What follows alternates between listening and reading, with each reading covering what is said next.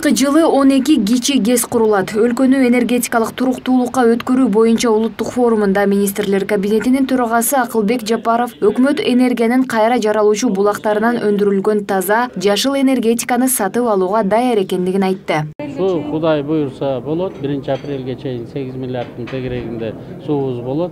Мындан ары дагы суу сактаганга аракет кылабыз. Ошонун алкагында киров суу сактагычында дагы орто токой суу сактагычында дагы биз жанагы кичинекей гэстерди курабыз. Мындан ары суунун баарын үнөмдөйбүз азыр биз бурулдайда дагы кеминде дагы өзүбүз дагы кичинекей суу сактагычтардын баарын курайлы деп атабыз негизи эле суубуз көптөп жата берип биз суунун баары агып кетип эле өзүбүз токтогонду үйрөнбөй калыптырбыз да. Ошондуктан жакынкы арада айыл чарба министрлиги алты амфибия сатып алып атат. Бүт бдр бсрлордун баарын жыйырма төрт саат бир жыл бою тазалайбыз эми. Кыргызстан өзүнүн энергетикалык потенциалынын он пайызын гана колдонот. Улуттук форумдун жүрүшүндө акылбек жапаров энергиянын кайра жаралуучу объекттерин курган ишкерлер салыктан он беш жылга бошотула тургандыгын белгиледи жапаров бул форумдун жыйынтыгы менен быйыл эң кеминде эки күн бир шамал энергия станцияны куруу башталарына ишеним артты.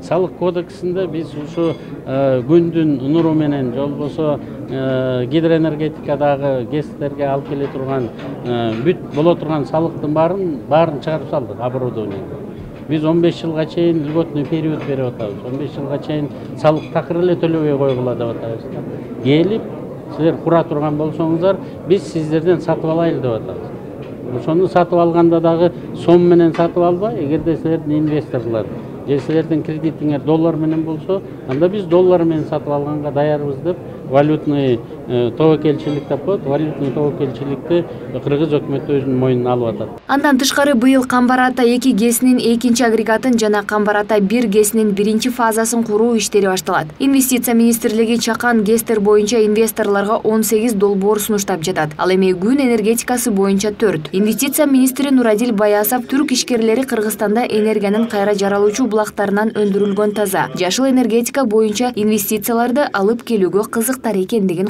кошумчалады шамал энергиясынан дагы алчу долбоорлор бар.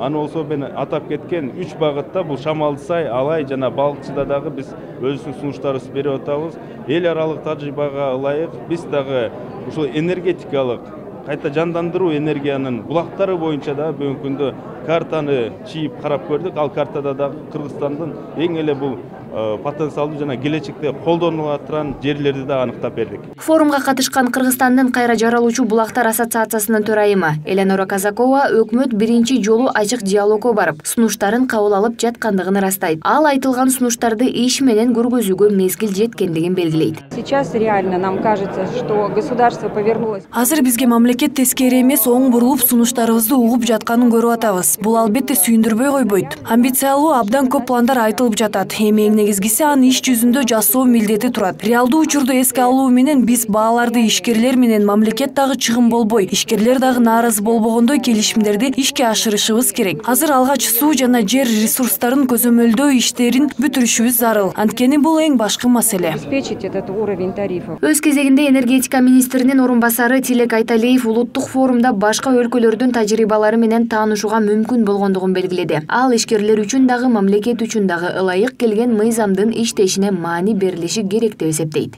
Эми мыйзамды жасып күчкө киргизип коюш бул бир нерсе. Ошол мыйзамдын иштеп кетиши бүгүнкү күндөгү шарттардын талабына жооп бериши бул экинчи нерсе да. Ошон үчүн биз бүгүнкү күндөгү шарттарга бүгүнкү күндөгү талаптарга ылайык ошол мыйзамды өзгөртсөк.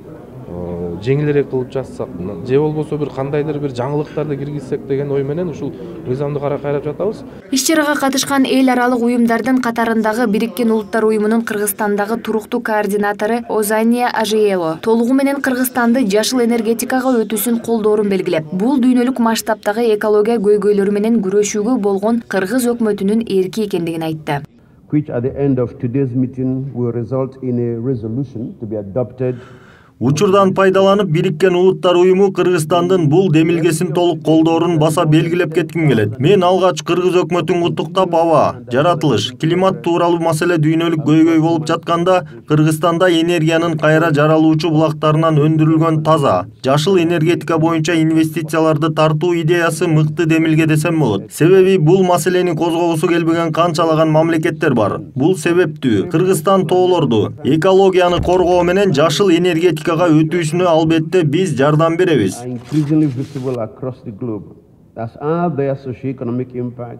ал эми өлкөнүн башкы экологу динара кутманова бул жүрүш менен эки миң отузунчу жылга парник газдарынын эмиссиясын кырк төрт пайызга азайтуу милдетин толук аткарабыз деп ишенет. Ошол милдеттенменин негизинде биз ошо гидроэнергетиканын э, тарабында ошо жанагы мини чакан гэстерди курушубуз керек да. Эми э, ал чакан гэстерди куруш үчүн ошо биздин мыйзамдарды анан жанагындай кандай бир жолдордун механизмдерин кандай э, иштеп чыгабыз кандай проблема көйгөйлөр бар. Ошо кандай ишке ашырыш керек?